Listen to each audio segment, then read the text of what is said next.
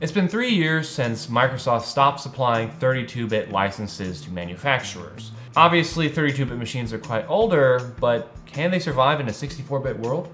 Let's find out. With Microsoft discontinuing support, all that's left are Linux distros.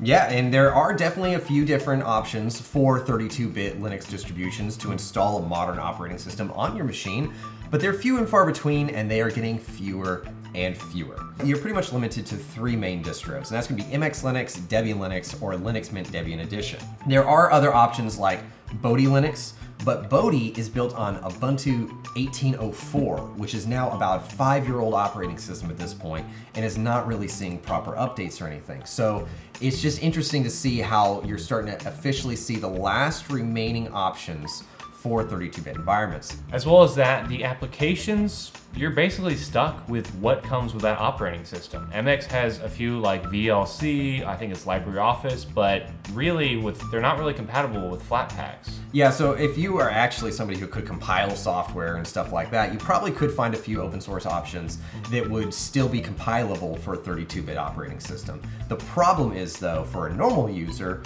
they're not easy to find. We mm. dug and dug and you just basically can't get basic things like Audacity hardly anymore in a 32-bit version or something like GIMP. GIMP was, you know, they have them, but they even say on the website for GIMP that they are restricted to older versions of GIMP because they just don't update them anymore. So this laptop was my grandfather's, wasn't used for quite a while and was running Windows 7. Yeah, and it is a netbook, if any of you remember that trend. They did not last very long. It was kind of interesting. They didn't because this thing came with two gigs of RAM and a hard drive. I managed to upgrade it to three gigs of RAM and put a solid state in it, which really didn't affect the performance that much. Yeah, Intel Atom and NVIDIA Ion, which, I mean, NVIDIA Ion drivers are on like 340, which are now on like 500 or something. Yeah, they're on like, I, I think NVIDIA is currently on like 535 or 545, and yeah, this is having to run 340. But the thing is, is that MX Linux actually installed them without any issue. I tried Bodhi, but it wouldn't install the Wi-Fi drivers, and when it did, it just, it, I couldn't get the GPU to work correctly. Out of all the ones I tried, this one has the best applications on there, and actually, they still have their blog being updated, which the last update was November 14th, so it is actively being supported at least for now. So each Linux distro tries to fit a certain need, and I'm not really sure exactly where MX is trying to fill a need, but hey, they filled a need for a 32-bit on this machine specifically, and they did a great job. Yeah. Now, as for the performance of this machine, it's pretty slow. If you are absolutely stuck with a 32-bit machine that is very slow, like 3 gigs of RAM, it's possible for it to work. I mean, you can watch YouTube videos. I'll pull up one right here, and you could be able to see. Wow, what a great video! The yeah, a fantastic video, which you should definitely check out. Uh, and you can see right here how long it takes to load. I mean, the bar is stuck right there. We have confirmed that it will watch videos at a blisteringly high quality of 360p. And whenever you skip through it, it takes a bit to load. Again, very sluggish, but very slow.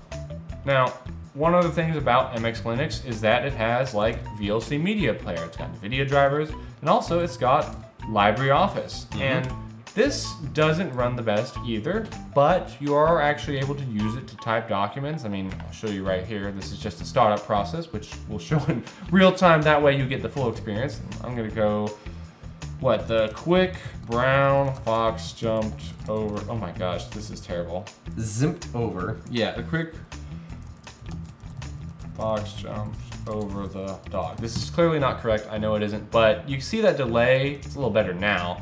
Again, not great, but usable. So the thing is, this is obviously not the fastest example of a 32-bit laptop, right? Yeah. I mean, 32-bit went into a variety of machines, and even up to, to 2009, which this laptop came out in 2009, you did have 32-bit options that were definitely more powerful than this thing was. Netbooks were never known for being exactly little beasts. With this software stack, Firefox, LibreOffice, VLC, you've got a usable machine for some basic capabilities. Obviously, like a Chromebook even would be better, but you do what you can with the hardware you have. Yeah, and Chromebooks nowadays, you know, even have the ability to install desktop Linux applications. So you would probably actually have more software choices on a Chromebook than yeah. you would something like this now. Which is crazy to think, but I mean, this is a pretty old laptop. One thing about MX Linux is that it seems to be very good at getting all the necessary drivers. Wi-Fi drivers, NVIDIA drivers, even Bluetooth drivers work just fine. To conclude, Is it possible for a 32-bit machine to survive in a 64-bit world? Yes, but it's not going to be the most pleasant experience. Yeah, and 32-bit hasn't really been relevant now, honestly, for about 13, 14 years. And 64-bit has still been around for a long time. And I would say that you're probably better off just getting rid of your 32-bit machine and getting a 64-bit machine, even if it's from the same era. If you can only afford a $50 laptop, you'd probably be better off doing that. But Windows is still worth getting rid of though, I yeah, would say. If, if you're absolutely stuck with one of these, get rid of Windows, get something like MX Linux. Even though it's slow, it is way faster than Windows 7 ever was. Do you have any old hardware that you're trying to revive? Let us know down in the comments below. Yeah, and we're trying to create like a little bit of an old school YouTube community here. So make sure that you guys subscribe and just stay interactive in those comments down below so that we can just be talking with you and try to build a bit of a community here. We'll catch you next time.